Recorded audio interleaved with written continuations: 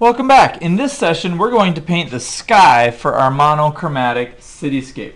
Um, in the past, here we used primary colors in the first row of buildings and secondary color in the second row of buildings. And now for our sky, you're still going to use a monochromatic tints and shades, but we're going to use um, this turquoise color for our sky. It's kind of uh, a good sky color. It'll be a little different than what we've had um, in the past. Even if you chose blue, it looks a little bit different than blue. If you chose green, it looks a little bit different than green.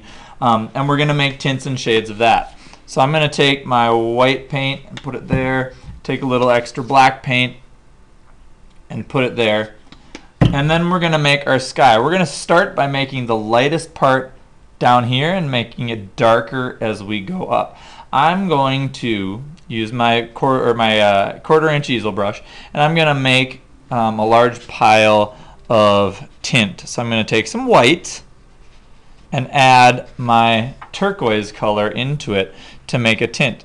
Notice I have my little bitty water cup, I have my clean cup, and I have my dirty water left over from my last session.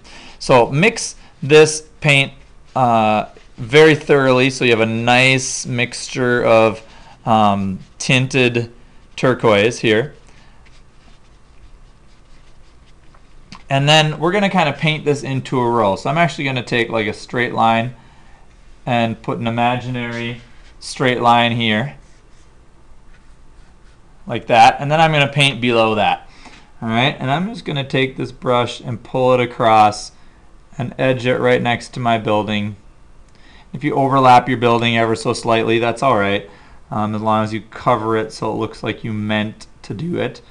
Right, let's not have sloppy brushwork. Alright, so I'm going to just cover this area with my tint. And then I'm going to do the same thing over here. Cover it with my tint.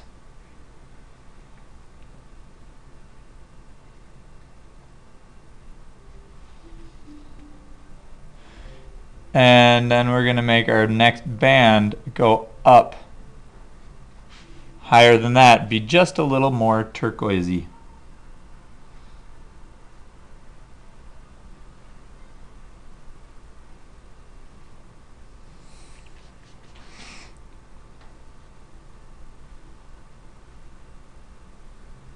Okay, now we've got that band in. I'm going to take a little more turquoise and add it into my mix so that I have a little darker tint of turquoise.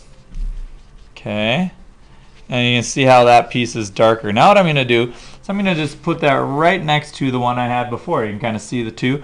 And now I'm going to do something that um, might be new to you, and it's called blending. Right here on our paper, we're just going to take our brush and we're just going to move it back and forth kind of holding your brush vertically as you pull. And we're just going to blend that color in. So there's no line there.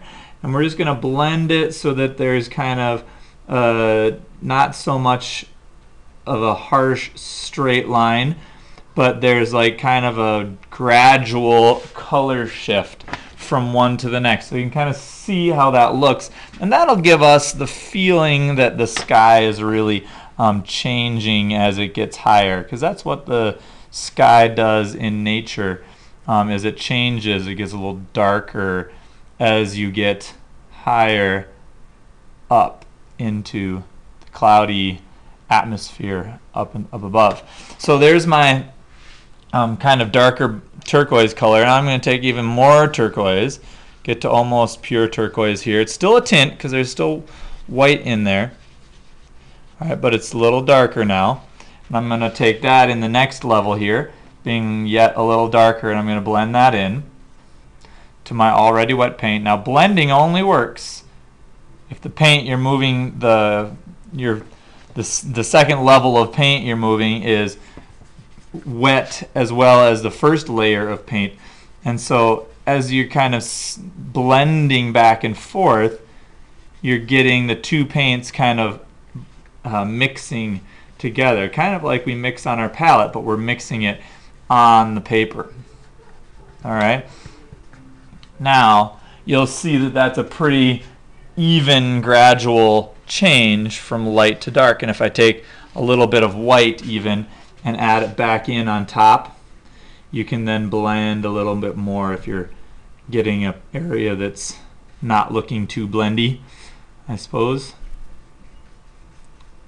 All right, and there we have our blended sky so that we've got an even gradual transition from light to dark. Now notice I didn't even end up using my black because I didn't have enough um, area to make that shade up on top. And I really, I just want that to be a blended area of tint up there.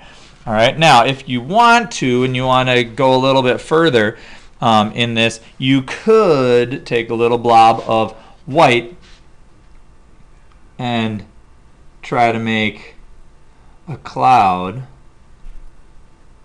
by adding it into there. Now if I take a little bit of black and I just make a little gray color and then I add that grayish color right underneath the bottom of the cloud that's going to make it even look more realistic. Kind of like that.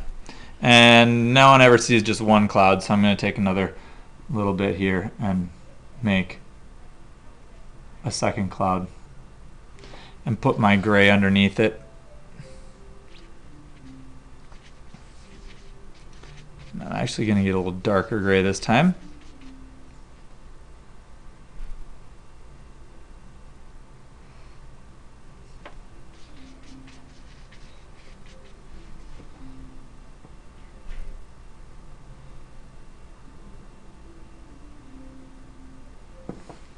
Good, so there we have two clouds in our blended turquoise sky. All right, and that's where we will leave off our session and we'll come back in our next session to paint the water on the bottom.